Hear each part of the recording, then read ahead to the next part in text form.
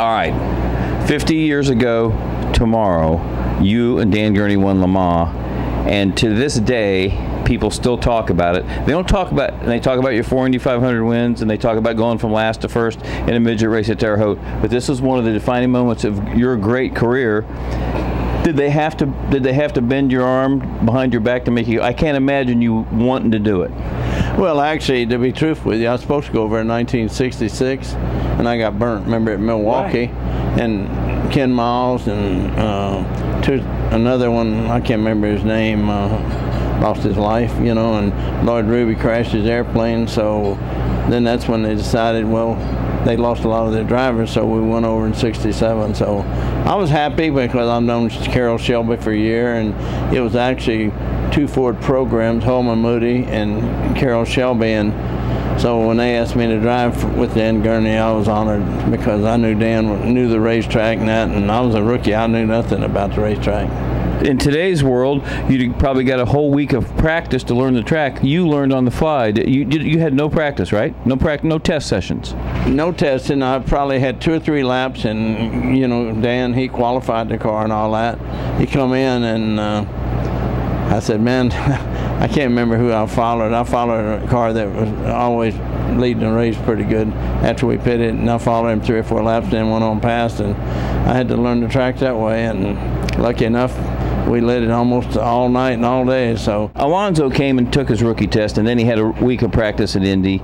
And, and did a really nice job at the Indy 500. You went to Le Mans having never seen the track, no test day, no. When was your first practice session?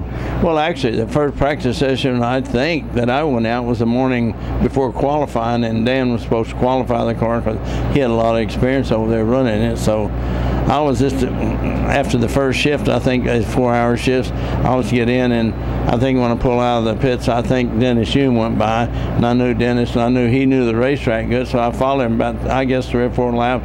And then um, I was just so much faster, so I just went on about my way. Lucky enough, we finished. Here's what what cracks me up is, is people. I was looking at some old papers and magazine stories. They said, "Can Foyt and Gurney get along?" Like they were trying to make it like you guys didn't like each other. It was just the opposite.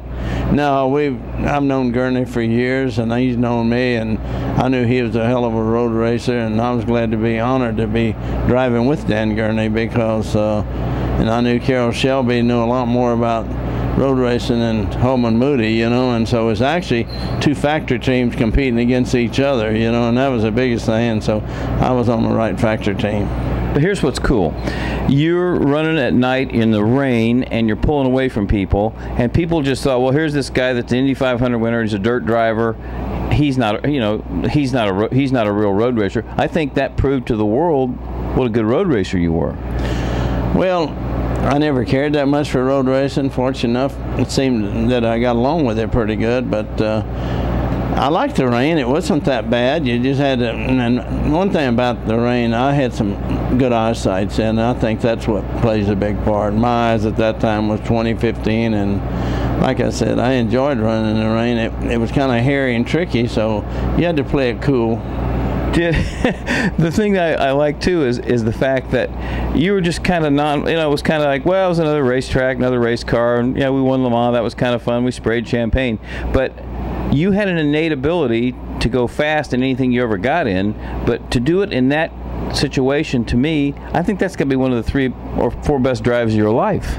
Well, it was a great ride. And one thing about the cars today, they got three to four or five drivers. They got seats. It's all adjustable. Gurney was so much bigger than I was at the time. His arms about four or five inches longer. So I'll tell you it was pretty rough. And we kind of split the difference. And nowadays, the way they, they all got to have their special seats and all that. And we had to do with what we had. And that's the way it was then. And like I say, it's a different ball game with the drivers today than what it was back then. Of course, we was all hungry, we was wanting to win, and if you didn't win, you didn't get no money. Yeah. Well, the other thing is, I saw the car at Dan's shop a couple years ago, and he goes, he took the tarp off and he goes, look at this. I mean, it was such a tiny little driver's seat, no, no cushioning or anything like that, and your gear shift stuck up, uh, stuck up against you. I mean, that wasn't exactly the lap of luxury driving that thing. Well, you know, another thing, we couldn't adjust the seat, and he was so much bigger. You notice if you notice the car had a big bubble on the top, he's so much taller. So we split the difference, and I wasn't that comfortable, and I know he probably wasn't that comfortable, but we was great teammates, and we was over there to win for Ford Motor Company, and that's what was on our mind. It come home first. So you couldn't adjust the pedals or anything when you made your switches, driver switches. No, no, he just kind of split the difference, and that was it. And the only thing he could do is tighten the seat belts to loosen them. I don't. Tighten is a good idea.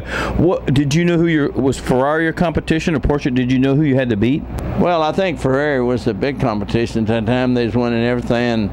Mr. Ford had just got married to, I guess, a lady, an Italian lady, and she said there's no way that Ford Motor Company can outrun the Ferrari. So he was determined that the Ford Motor Company was going to outrun Ferrari, and they did. They did a lot of work, and, you know, and like I said, uh, it was a great deal and had two top teams, you know, from the United States, and we didn't go over there run second. The other thing that was cool is after it was over, they said, "AJ, you're going back," and you said, "Why would I go back?"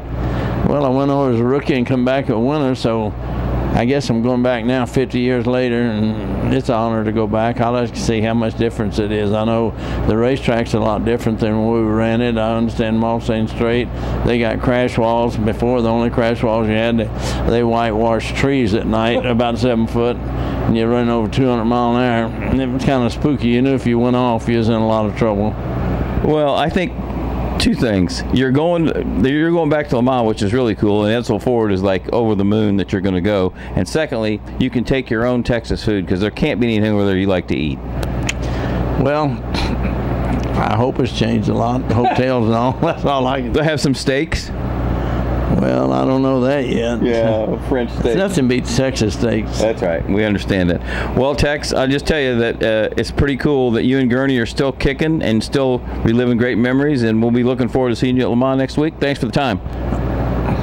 Well, I hope I have a lot of fun. I know I will.